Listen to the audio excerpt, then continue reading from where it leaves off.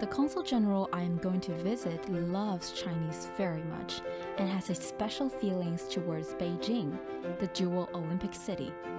His Mr. Martinos Mandalidis, consul general of Greece in Guangzhou. During his 15 year diplomatic career, Mr. Martinos Mandalidis has devoted most of his time to promoting exchanges between China and Greece. He officially took up the post of Consul General of Greece in Guangzhou in November 2021. He and his wife are sports enthusiasts. In their spare time, they ride bicycle to admire the architecture in Guangzhou. They're also fan of the arts. They like attending art exhibitions and strive for understanding further traditional and modern Chinese art and culture. Today, I'll invite them to view lotus flowers and feel the vitality of midsummer. Hello, Martin. Hello, Vivian. Nice to see you. How are you? This is my wife, Mar. Wow. Very nice to meet you. Well, nice to meet you too. How elegant she is, just like the graceful lotus flowers here. Thank you very much. I feel uh, very lucky a man. The lotus flowers are in full bloom, very beautiful. They survive in the most severe weathers in one year. Today is the greater heat uh, we call Da Shu. Uh, it's the hottest time of the year, so you could feel wow, it's very scorching today. And it's also the best season to appreciate the beautiful lotus flowers. So that's why I've invited you here. Yeah, we could smell the, the fragrance of the lotus flower when we enter the park. Yes, the, the vitality and the life force of the lotus flowers in full bloom really embodies the life force and beauty of nature during the greater heat. Yeah, I think so. So, as it's the hottest time of the year, and actually I have prepared some special dessert and tea for you. Would you like to try? Sure. Excellent. Thank you. Yes, thank you. Yeah, so this way, please.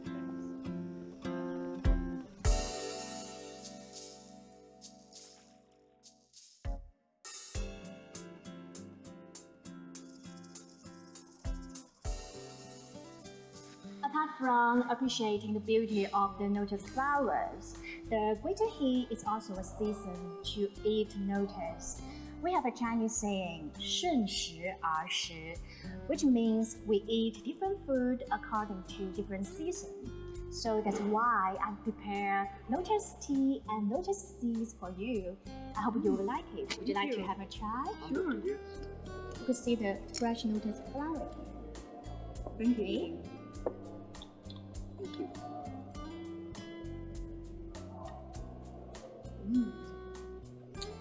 Do you like it? Very tasty. Uh-huh. It leaves a lasting aroma of lotus in my mouth. Since I came to Guangdong, I've heard that different parts of the lotus flower are edible, like the seeds or the roots, but this is the first time I taste this. Actually, all parts of the lotus are edible and they are very valuable. And uh, lotus actually have been regarded as precious and nourishing food since ancient times.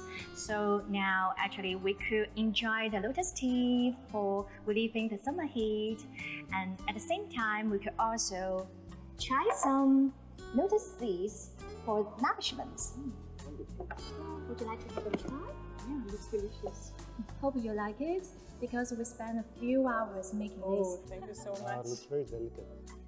It really reminds me of souvlaki in Greece. Yeah, it's true. Souvlaki, but we Oh, what put meat.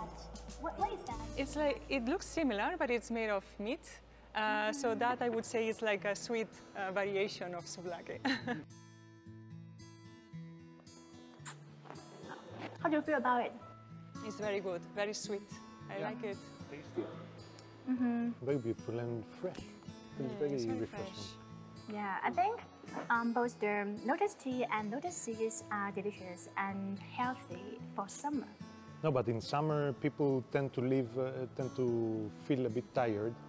But uh, I think you know, having this lotus food and also enjoying the view of uh, the lotus flowers feels very soothing and refreshing.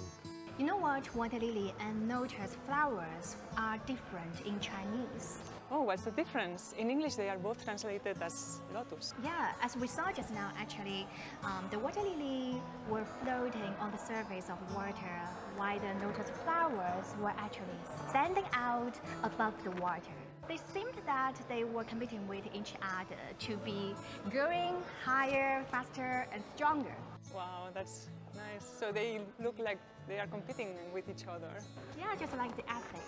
That's a very interesting way to put it, actually. It, in ancient Greece, the Olympic Games was developed as a competition between non-professional athletes. Mm-hmm. And they would test their limits, they would reach excellence through competing with each other. What the winners received was not material benefit, but they received an olive wreath, which symbolized recognition and had great moral value. What was most important was participation, making your best effort. Physical sports and education was part of the education of youngsters in ancient Greece, and that's why many philosophers, like Socrates, spent a lot of time in gymnasia and wrestling halls. And I know that also Confucius was a master of sports. Yes, uh, I think Confucius was a master of archery, and he thought that a good archer needed not only good skills, but also morality, self-cultivation, and aggressive spirit. And as far as I know, in the Zhou dynasty in China, um, which was about 3,000 years ago, students were required to learn six arts, which included rise, music, archery, chariot racing, calligraphy, and mathematics, to promote all-round development and to achieve a sense of dignity and harmony. In ancient Greece, wisdom was equally important as physical education and physical strength. That's why many philosophers, like including Socrates, they used to spend time in the gymnasia, meeting their pupils and also giving lectures. Are you serious? How could he do the workout and at the same time giving the lectures? How could he do that? Well, I mean, you know, um, as, as I said, you know, it's a balance between the two, wisdom and physical education. And uh, actually in Greek, the term philos- philosophy means comes from philos, which means love, and sophia, which means wisdom. So philosophy means the love for wisdom. So philosophers always strive to for more knowledge and more wisdom. Wow, I think that's beautiful. I think love, knowledge, and also health and sympathy are the most important things in life. We're very grateful about the wisdom passed on to us by our ancestors. And actually, wisdom you can also find when it comes to eating. As you said in solar terms, uh, seasonal eating is also one of the philosophies of the Medi Mediterranean diet, which is mostly based in the consumption of olive oil, seasonal legumes, vegetables, fish, and fruit. So this is one of the philosophies as well in this uh, kind of cuisine. I think uh, after trying this very beautiful delicacy of the great heat, I would like to introduce you also some summer food. We've made an appointment with a special Greek place if you want to go there to taste it. Sure. So, shall we go now? Let's go. Let's go. Oh,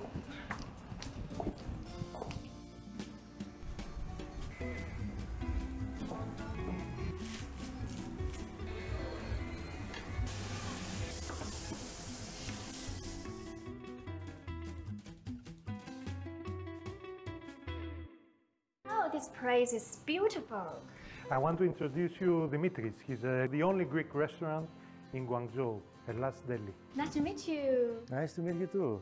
Wow, I really want to try this dish. So, what's the name for it? This is called gemista. Gemista means like stuffed vegetables. It's a very typical Greek summer dish. Can I Can you help me? help you? Yeah, for sure. Okay. It's like jewelry box for ladies made by vegetables. What is this? This is rice with many herbs inside. uh, like onions. All the fresh herbs of the garden. Oh. So, what's your first impression of this dish? Oh, it was amazing because it's uh, it looks simple, but actually it's quite difficult to make, and it's also a seasonal dish because tomatoes are in the best at their best in summer. So with the taste of tomatoes and the stuffed inside, it's it's delicious. Okay. So I think it's done. Yeah, Yeah. you can take a rest when the food is ready, Okay. and I call you back in the in an hour, maybe. Okay, you're so kind to us. So, uh, shall we take a rest now? Yes. So I was wondering, how do you two know each other?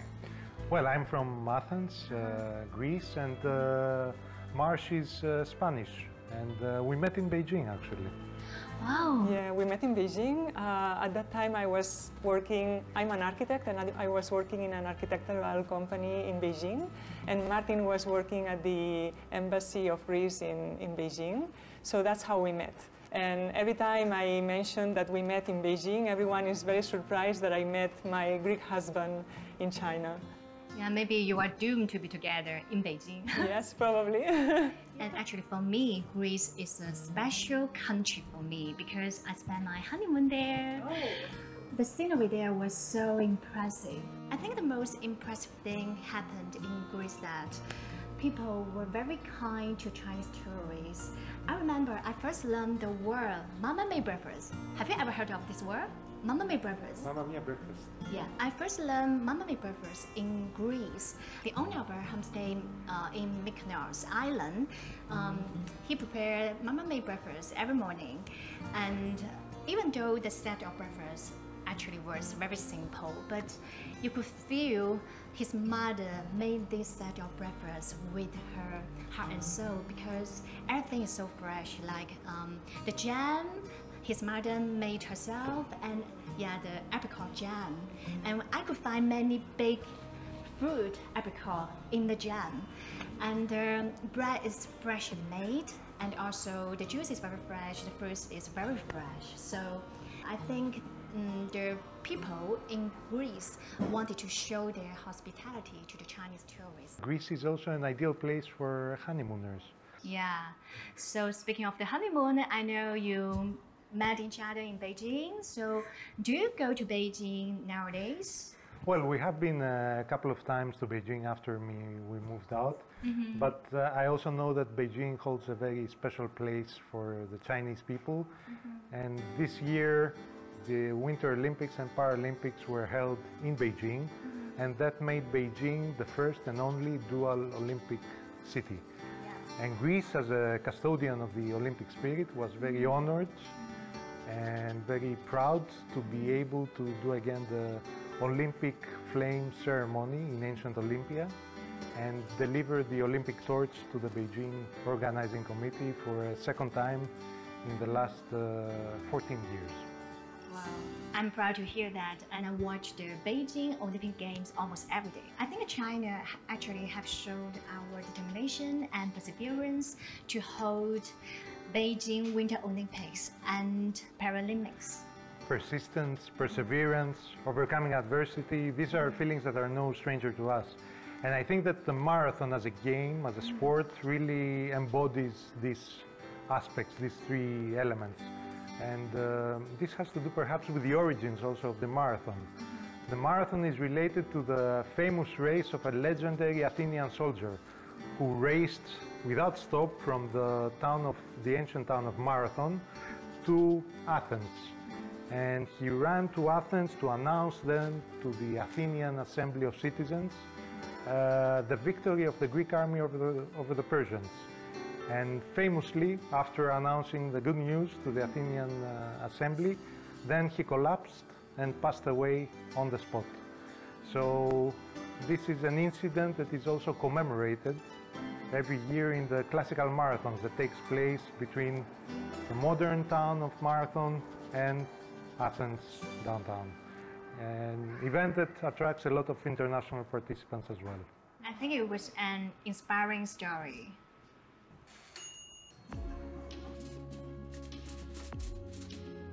Oh, I think the dish is ready.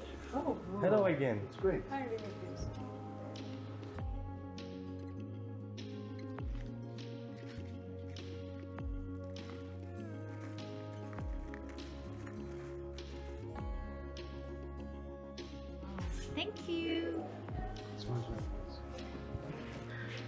Whether I could get the same authentic taste like it was in Greece. I'm sure it will feel the same for you. Really? For me, the smell brings back a lot of memories. It reminds me a bit of my childhood. I could smell the memory too. 10 years ago. The full memory 10 years ago in Greece. I remember in summer, where after going to, to swim in the sea, mm-hmm. going back home, and you know, as I entered the home, this is the smell that greeted me. And uh, as I said, it's a dish cooked uh, by my mother, also cooked by my grandmother, and to share for all the, the family. Oh, Shall we try? yeah, let me Sure. try it. Wow, the same taste as it was in Greece. The same, totally the same. So he's very professional. And it's a very good dish to have during the greater heat. Yeah, because it's sour and the taste is very light. Very little salt. I think no salt, right? No salt, very No little salt. No Very salt. little salt. Or just a very little salt. Yeah, it's quite little healthy salt. in summer. Yeah, and uh, also re- reminds me 顺时而食 because everything here is so fresh. It's a seasonal food. Yeah, Exactly. seasonal food. Seasonal vegetables. So you have summer vegetables like tomato and peppers to, to enjoy this food. Mm, it's so appetizing. I think it's really good to have it after working out. And tell us, William, uh, Vivian, what is your favorite sport? What sports do you normally do? Well, I like running. Actually, I have participated marathon in Guangzhou, and I think the running process actually was tiring. But after you finish the full distance, and I think you found the scenery at the end uh, would be extremely beautiful.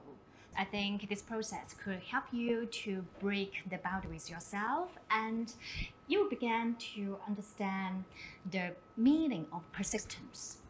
So, by the way, have you um, participated in the marathon before? Well, not yet. Uh, we haven't participated in the marathon, but uh, speaking of persistence, we have been studying Chinese for quite some time now, and crossing the finishing line really feels like running a marathon. Okay, so maybe let me see whether you really crossing the finish line in Chinese. so, could we start um, a mini marathon in Chinese with you? Okay. Let's give it a try. Why not? Okay, so I will have three questions in Chinese. Could you help me to translate these sentences into Chinese? Okay, we'll give it a try. Okay, get ready to it. The first sentence is The yamister is very delicious. 呃，盐沙很好吃。 And you, you know it. Oh yeah, of course you know it. Okay. Okay, okay, okay. I will give you. I think this is a little bit simple, and I will upgrade the difficulty a little bit. The weather is very hot. 呃，今天天呃，今天天气很热。 Wow, bravo. Okay, you got the point. Third question. Uh, because today is greater heat. So, what's the Chinese version of greater heat? 大暑。 That's true. Excellent. Oh, you hmm. you are both of you are very good in Chinese. Yeah, I think it's, it's close to 100 points. We try our best, but still a lot to learn. Yeah. Yes, and Yeah. speaking of persistence, uh, mm-hmm. I want to say that recently I went to the Guangdong University of Foreign Studies uh, mm-hmm. to the Greek department to celebrate the, the World Language of the World Day of Greek Language, mm-hmm. and there I, I saw also and sympathized with the new students, Chinese students that were trying to learn Greek, and I think this is a very durable bridge and promising bridge between our two countries. I heard that this year is China Greece Culture and Tourism Year. Could you explain more about it? Precisely. Mm-hmm. Last year we inaugurated the China Greece Year of Culture and Tourism, mm-hmm. which was expanded also into 2022 due to the pandemic. And at the inauguration ceremony, we unveiled also a statue in the ancient agora below the Parthenon of the Acropolis, uh, showing Socrates and Confucius, two great thinkers that lived almost at the same time at the two edges of the known world. And I wonder because this year marks the 50th anniversary of diplomatic relations between China and Greece. So, what are the prospects for the cooperations in the future? Greece and China, they're both at the opposite ends of the maritime Silk Road, but they're also integral parts of it. China is the biggest exporter and importer, while uh, Greek-owned maritime commercial fleet is the largest in the world. So, and it's very important here to note that a big part, a big number of the Greek-owned ships are being built here in China. So there is a very strong bond between our two countries when it comes to the maritime field. We also want to bring together the very dynamic innovation system, uh, innovation ecosystem in Greece that is now being developed and bring it closer to the important innovation centers here in the greater Bay Area. And of course, last but not least, tourism. We are really, we are very eager to welcome once again Chinese tourists in Greece as soon as the travel restrictions are lifted. I have seen the most beautiful sunset in my life in Greece, in Santorini. The sea is very blue, but the sky is very pink. Very beautiful picture in my heart, and I think I will remember this picture for the rest of my life. And at that time, I was thinking I will be back one time. Well, I will share a secret with you. Uh-huh. Uh, you're not the only one who had his honeymoon or something. Also, our honeymoon, we spent it there. Wow! So there is something in common between us. The long history and rich culture of China and Greece are shining like stars in the summer night. From the beautiful lotus flowers in full bloom under the high temperature and humidity environment during the greater heat, to the Chinese and Greek philosophical wisdom of Confucius and Socrates, the connection between the first dual Olympic city and the Olympic Games in ancient Greece, and Mr. and Mrs. Consul General's persistence in learning Chinese. All these stories unfolded in this summer and caused us to think deeply. The two countries have gone through the arduous process of cultural rejuvenation. Upholding the attitude of perseverance and courage, we believe that the harder the times are, the more determined we should be to reach our goals. Only through vigorous and determined endeavor can we fulfill our responsibility to history and prove worthy of our times.